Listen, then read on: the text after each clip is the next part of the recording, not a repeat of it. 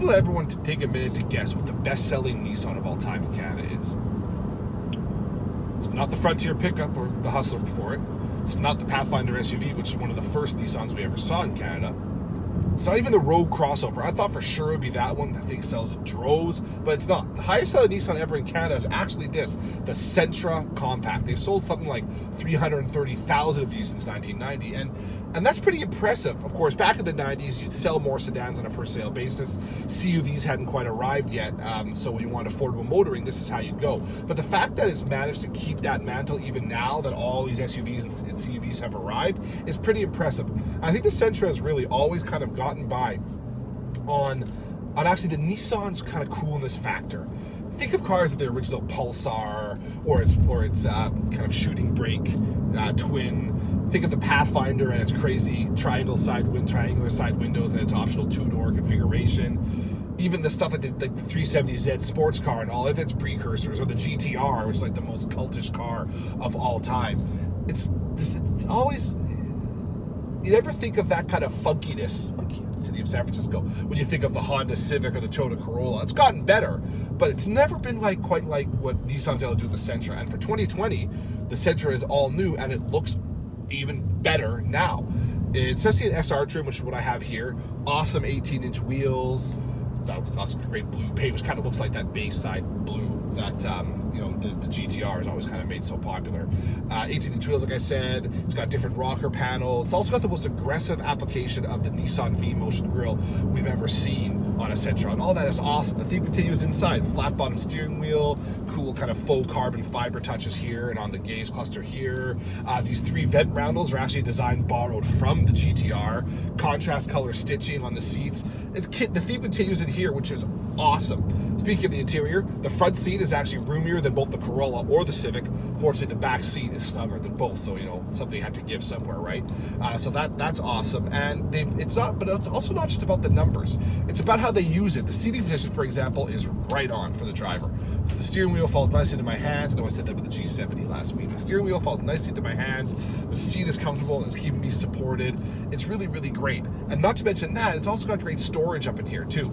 So while the numbers say one thing, is how you use that space that matters. The center console, which looks really low profile and narrow, and, and that wouldn't be that deep, it's actually quite deep. I was surprised I opened it to see it could probably fit a four gallon, uh, four liter rather, four gallon, four liter uh, jug of milk down there. Uh, this sunglasses holder looks like it's big enough to hold one of a pair of Elton John sunglasses, and you've got a nice big glove box as well. Too. Also, you've got this um, nice pad here for your cell phone. Cell phone, cell phone your mobile device. Unfortunately, it's not a wireless pad. It's not even available on the Nissan, which is too bad because both the uh, Corolla and the Civic do offer that option. And with a car like this, which is kind of aimed at a more kind of youthful buying group, that that group loves its tech, loves its 4G, you know, Wi-Fi hotspots, you know, and it loves its wireless charging. This doesn't have that. You've still got CarPlay and Android Auto though, which is good, but that's too bad that you don't have that. Um, but it's good that you have that storage area for your for your mobile because that that means you don't have to waste one of these cup holders on it here too. So that's that's really really good. In the back, the seats fold down by just tugging on uh, the um, uh, a lever on the shoulder. You don't have to go through the trunk to do it. And while you're not going to want to fit two adults back there for too long, how many adults are riding around the backseat of compact sedans in North America all that much? Not that many, I'll tell you that. What you want to be able to do though is make sure you can fit a child seat in there, and you can quite easily. While there might not be as much room back there as there is in the Corolla and the Civic, the door, the rear door opens nice and wide, so getting a child seat in there is no problem. I actually tried it uh, with my two and a half year old daughter, and no problem at all. Not only getting the child seat in there, once it's in there, getting her in there too was no problem. So that that was really nice. So they've made they've done well with that. Even with that kind of aggressively sloping roofline, uh, you can get a child seat back there, which is which is great. So so they've really done well to make use of the space they've given. Uh, power wise, it's got 149 horsepower and 145 pound feet of torque. That is. Um, pretty good for stock. The It's more than what the Corolla makes in stock, and it's also um, more on the torque front than what the Civic makes in stock. Now, you can get more powerful engines in both the Corolla and the Civic. You can both you get a turbocharged engine in the uh, Civic, and the Corolla also gets a 2 liter engine in addition to its 1.8 liter, which it gets in stock. So it's a shame that you can't get a more powerful motor, I guess, with the Sentra. But the fact that at base you you get that kind of power is great because with the Corolla you have to spend about twenty five thousand dollars, I think, for the LE trim in order to get that kind of power, to get the 2 liter motor and the more power that that, that it offers. This starts at 1899. 18990 I believe, um, and it gives you that power right from base.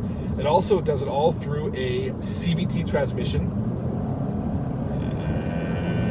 Uh, yeah, CVT transmission, which is actually not too bad. I know I'm gonna make fun of it, but uh, Nissan has worked on their CVT tech for a long time now, and they do they do it well. They do it well. So it's it gives you a little bit of zippy power. You're not gonna get the same launch as you get from the CVT on the Corolla though, because that actually has a traditional first gear which helps with launch.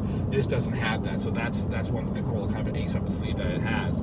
So, but it's it's not bad. Also, when you're at speed, you can get some stuff going too. What I have harder time forgiving though is the fact that not only can um, I I, I can't uh, shift my gears and paddles up here. I can't even use uh, shift uh, my own gears with the shift lever here either. Now, of course, CVT doesn't really have actual gears, but there's been plenty of CVT transmissions in the past, including ones from Nissan itself, that have given us the op- option to kind of shift gears on our own by programming in like virtual shift points. Would have liked to have seen that for this vehicle, which is meant to be a little more kind of, you know, athletic.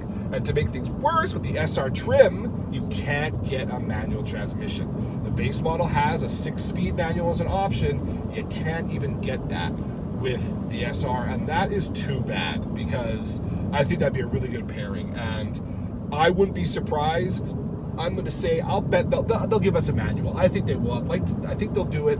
I bet maybe next year for 2021 when they kind of do a bit of a refresh, maybe they'll maybe they'll add a manual transmission, which would be great because if you could add a manual and maybe find a way to get a little bit more power out of that four cylinder up front there, you could be talking about this on the same level as not just the Honda Civic, but the Honda Civic SI, kind of the sports version of the Civic as well. Maybe the Type R, that's kind of another level, but the SI, that'd be a really cool uh, comparison to be able to make. Um, this is not not it's not an SI, it's not a Volkswagen Jetta GTI, a GLI rather. It's, it's none of those things, but that doesn't mean that it can't kind of give you a little bit of fun. And when it, and it does that by giving you a really, really great steering rack, very responsive, incredibly pointable. Like like like the, the small cars tend to have uh, nice responsive steering racks because there's not as much weight for the uh, to, to, to, move around. But this one kind of takes to another level by really kind of offering you that side to side quick uh, evasive maneuver uh, ability that it offers is, is really awesome.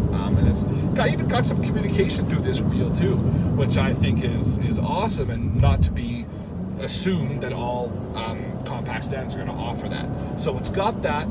The transmission and, and powertrain are are fine. Let's be honest, 150 basically horsepower is all you're really going to need at this level. Again, this is not a sports car, so 150 horsepower for a car that weighs I don't know probably less than 2,000 kilograms is going to be fine. It's going to work rather well, and I don't feel like I'm in a slow car. That's for sure. Um, that's that's that's not something that uh, I don't think many are going to complain about. The one thing you're going to want to watch for, though, if you do take one of these out for a test drive, is look out for that ride because while it does have that very responsive front end and body roll is kept to a nice minimum, the suspension is firm. The damper settings is quite firm, and unfortunately, it's going to make this video a little bit jiggly. Sorry about that, but but it is a very firm setup. You're going to want to watch that. You're hopefully try to find a road that's maybe got some expansion joints on it, some railroad crossings, and so on. That'll kind of give you the feel for what that ride is going to be on a day to day. But as you go through, as I go through this nice sweeper here, I like that. Like that's that's something that I'm really really I'm a fan of the steering here. It's really really really good. So this is uh, again it carries on the theme of the Sentra. Nissan's always kind of having that that kind of slightly more performance bent to them.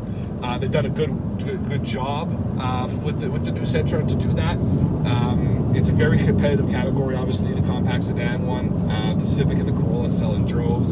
So Nissan has done a lot to try to help the Sentra stake its claim at that level. Um, and I, uh, I think it'll be interesting to see how it how it does on sale on sales front. Uh, see if it can continue uh, being the highest selling Nissan we've ever seen. So uh, that's it for now on this. Look for the full review here um, on wheels.ca in a couple of weeks. Um, you can follow me. You always follow me on Instagram. You can also follow me on uh, Twitter at uh, Dan the Wheelman. We really appreciate it if you do. But otherwise, uh, thanks for tuning in for this video. Next week, I believe another Nissan. I think it's the Qashqai Compact Crossover.